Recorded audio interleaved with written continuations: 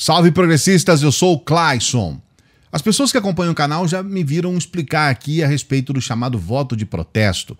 Uma parte do eleitorado, até por um motivo de não gostar muito de política, de serem refratários ao processo eleitoral.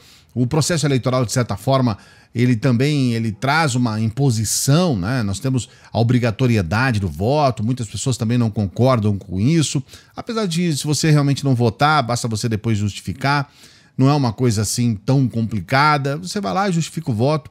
Não há uma necessidade brutal, mas há pessoas que vão lá e votam em um candidato para trazer uma resposta à política. Isso não é uma novidade, não. Há décadas atrás nós tínhamos aí a eleição do macaco Tião, depois nós tivemos aqueles eleitores que votavam em gente que, na verdade, estava lá para zombar do processo eleitoral e acabavam tendo cargos, né? A gente fala muito do Tiririca por ter é, tido uma votação muito expressiva, mas em cada cidade, em cada estado, nós sempre temos candidatos que acabam entrando nesse processo eleitoral, é, talvez até por uma zombaria ou por é, explorar um lado humorístico e acabam sendo eleitos ou tendo uma grande quantidade de votos.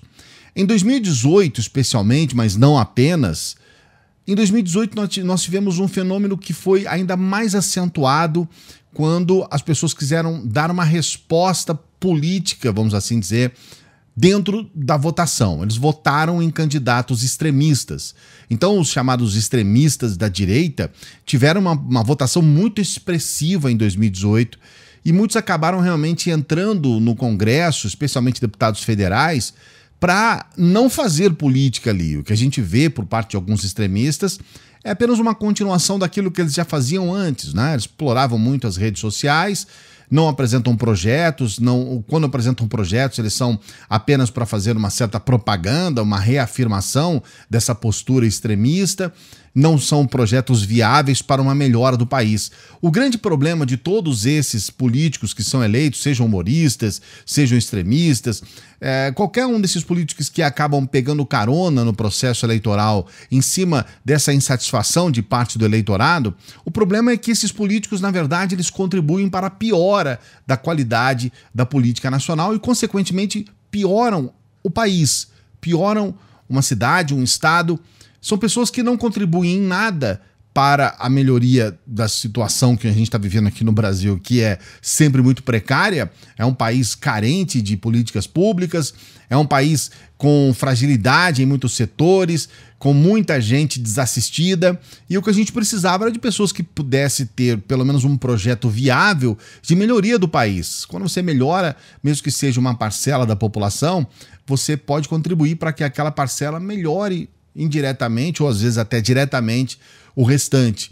A verdade é que nada disso acontece. Deputados, especialmente extremistas, como é o caso do Daniel Silveira, eles fazem uma autopromoção, então eles vivem apenas para se autopromover.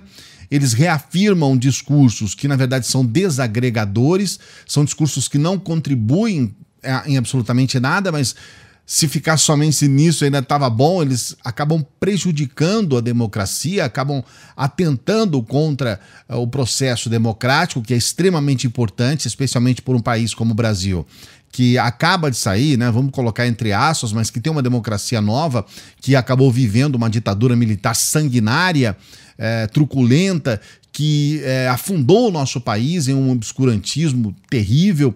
Então a gente percebe que parte do eleitorado ainda é muito seduzido por um discurso extremista, justamente porque está um pouco saco cheio de tudo isso e não consegue compreender o desastre que ocorre quando você elege um sujeito que vai ir contra o país. Né? Às vezes, alguns deles têm até a intenção: não, vamos mudar o que está lá, vamos é, combater a política atual, porque a política está cheia de problemas, vamos eleger um sujeito que está fora, um outsider, um sujeito que não está dentro do sistema. Mas, é, em casos como o Daniel Silveira, as coisas se extrapolam. Eu vou falar hoje sobre esse processo do Daniel Silveira, como que ele acabou sendo condenado, ele virou réu no STF. Só que antes eu quero pedir para você dar o joinha no vídeo. É, os últimos vídeos aqui do canal, a gente está com um comportamento um tanto quanto estranho. Eles não estão chegando até as pessoas, as pessoas não estão sendo notificadas. Então é muito importante que você dê este like, porque o nosso canal está passando por um momento meio nebuloso aí com relação às notificações por parte do YouTube. Talvez você nem tenha sido notificado nos últimos vídeos aqui do canal. Então o seu like ajuda para que a gente possa dar continuidade ao nosso trabalho. Estamos aqui trabalhando para você todos os dias dias. E também, se você ativar o sininho, caso você seja inscrito, você também vai ajudar bastante o nosso trabalho. Se você não é inscrito, esse é o momento. Precisamos de canais como esse aqui para colocar um equilíbrio mediante a toda essa loucura que está acontecendo no nosso país. Se inscreva no canal, ative o sininho. Olha, o que aconteceu com relação ao Daniel Silveira é que o Supremo ele eh, votou, né, ele tornou réu o deputado Daniel Silveira por atos antidemocráticos. Eu vou colocar aqui para você um resumo para você entender o caso. Depois nós vamos falar um pouco sobre as questões da defesa e da acusação. Vamos desenvolver rapidamente isso para você poder entender e saber o que está acontecendo. O, em 21 de abril do ano passado, o STF abriu, por determinação do ministro Alexandre de Moraes, um inquérito para apurar a organização de atos contra a democracia no país. Dentre estes alvos está o deputado Daniel Silveira.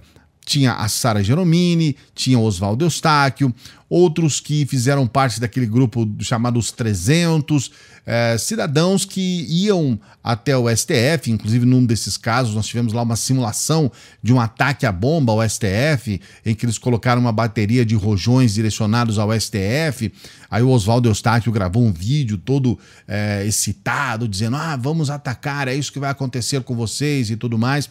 Existe um movimento contra o STF que é constante, nós tivemos até num determinado momento, quando eles estavam defendendo o chamado AI-5, o ato institucional número 5, que foi o ato mais duro da ditadura militar, que acabou fechando o Congresso, fechando o STF, é, tirando realmente os direitos né, políticos daqueles que tinham sido eleitos pelo voto e acabou instituindo realmente uma, uma um militarismo total. Né? O, o país inteiro ficou na mão de meia dúzia de milicos aquele ato foi é, e até hoje é muito, digamos assim, celebrado por parte dos extremistas aqui no Brasil.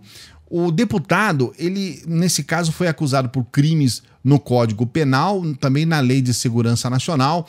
Essa LSN, ela está, e é, isso é importante você saber também, ela está sobre o holofote porque o próprio Bolsonaro, os bolsonaristas também estão usando essa LSN para tentar condenar pessoas. É uma lei que vem de um momento da, da ditadura militar ela é uma lei que precisa ser revista, existem algumas questões lá que são inconstitucionais. Então, de certa forma, a gente precisa falar a respeito disso.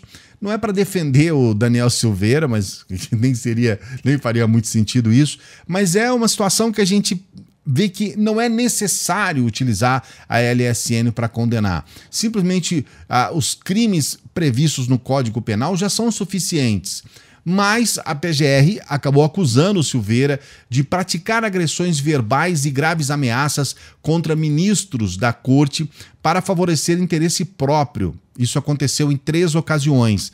Essa é a parte do Código Penal, não é da LSN incitar o emprego de violência e grave ameaça para tentar impedir o livre exercício dos poderes legislativo e judiciário por duas vezes e incitar a animosidade entre Forças Armadas e o STF ao menos uma vez. Então você percebe que ele recorreu nos crimes. Em março, o Moraes determinou a prisão domiciliar de Silveira que permanece com tornozeleira eletrônica. Ele teve algumas questões, ele acabou deixando acabar a bateria da tornozeleira, é, ficou um período sem esse monitoramento da tornozeleira. A gente sabe que as coisas ficaram meio brandas para ele, mas isso não poderia ter acontecido. O, em anexo à denúncia contra o deputado, a Procuradoria-Geral da República, a PGR, ela propôs o envio do documento à Câmara na forma de uma representação contra o parlamentar, tanto para a mesa diretora quanto para o Conselho de Ética da Casa. O parlamentar também é investigado no inquérito que é por ataques a ministros da Corte e disseminação de notícias falsas, o chamado inquérito das fake news. Este inquérito ele já está acontecendo já há algum tempo. A gente gostaria que houvesse uma solução. Teve uma, tem, né, uma chamada CPI das fake news, que foi meio que congelada em função da pandemia. É, muitas coisas aconteceram na CPI das fake news, foi levantado algumas, algumas acusações graves, sérias, contra aquilo que chamam de gabinete do ódio, uma movimentação bolsonarista para divulgar notícias falsas e fazer valer alguns discursos que a gente acha extremamente lamentáveis, que muitas vezes levam ao engano uma série de pessoas. É, que são que acabam entrando nesse discurso sem entender muito bem o que está acontecendo. O inquérito das fake news é muito importante, especialmente para que a gente possa nos preparar para 2022. Nós estamos às portas de uma próxima eleição para presidente, para deputados, e a gente e para senadores, e a gente percebe, governadores também, e a gente percebe que há uma necessidade da gente se preparar, porque a gente tem algumas deficiências das nossas leis para prever casos, especialmente nesse sentido que a gente está lidando aqui com as fake news, que falam a respeito de redes sociais. E pelo fato de ainda termos algumas deficiências na lei, este inquérito ele poderia ajudar para que a gente pudesse ter uma certa visão um pouco mais ampla dos perigos que ocorrem à democracia. As pessoas que acompanham a internet e aqueles que estão entendendo o que aconteceu com o Bolsonaro sabem que parte do eleitorado, parte do eleitorado do Bolsonaro, foi de alguma forma cooptado por intermédio das redes sociais, o que a gente chama de fake news, de notícias falsas. Aquelas, aquelas é, publicações pelo WhatsApp, pelo Facebook, até mesmo aqui pelo próprio YouTube, em que as pessoas foram enganadas, claramente.